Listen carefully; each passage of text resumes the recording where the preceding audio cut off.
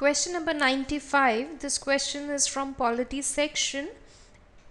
Question says in which of the following zero based budgeting is difficult to introduce? Number 1 establishment charges, 2 public works, 3 irrigation projects, 4 federal fiscal transfers. So out of these four Zero-based budgeting is difficult to introduce in establishment charges and federal fiscal transfers. Zero-based budgeting is method of budgeting in which all expenses must be justified for each new period.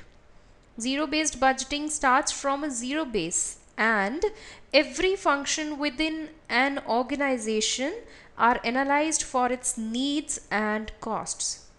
So it is difficult to, to introduce in establishment charges and federal fiscal transfers. So out of the four options given here, option C is the correct answer, 1 and 4 only.